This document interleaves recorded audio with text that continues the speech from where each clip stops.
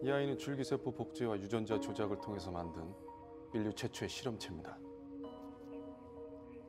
그러니까 제가 복제 인간이라는 겁니까? 글쎄요. 저걸 인간이라고 부를 수 있을지 모르겠네요. 토마토 줄기에서 감자 뿌리가 자란다면 그걸 뭐라고 불러야 될까요? 인간에게는 없는 특별한 유전자를 가지고 있는 존재입니다. 어쩌면 새로운 종이라고 해야겠죠.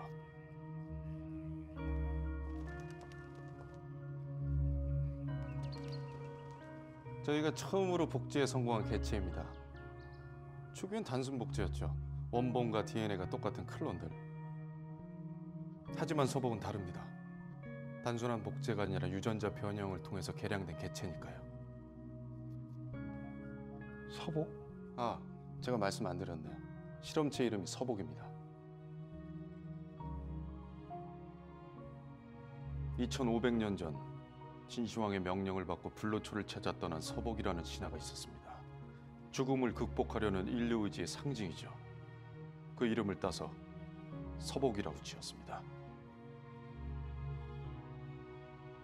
서복은 죽지 않는 존재입니다.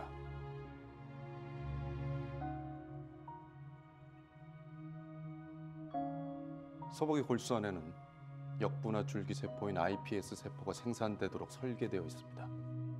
서복의 iPS 단백질로 인간의 모든 질환을 치료할 수 있습니다. 서복을 통해서 인간이 죽음을 정복할 수 있게 되는 거죠. 이 아이는 줄기세포 복제와 유전자 조작을 통해서 만든 실험체입니다. 서복은 죽지 않는 존재입니다. 死なないクローンとその護衛を任された 余命わずかなエージェント 실험체를 원주에 있는 벙커로 옮기기로 했다. 민기현이다. 민기현 씨?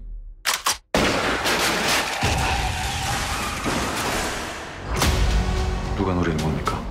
일단 거기로 가 있어. 곧장 지원팀 보낼 테니까. 아직 위험해. 안전한 곳으로 가야 돼. 왜 위험한데요? 내가 죽지 않는 존재라서 너 거기서 평생 산 거라며? 검사 받고 밥 먹고 그게 다야? 아름답네요. 뭐가? 살아있다는 게. 저겁니까? 실험실하는 게. 민기현과 실험체 테러 용의자로 설정하고 발견 즉시 사살할 것. 서복은 사람이 아니니까 아시잖아요.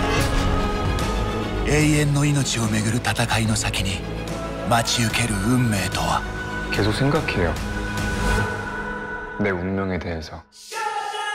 素朴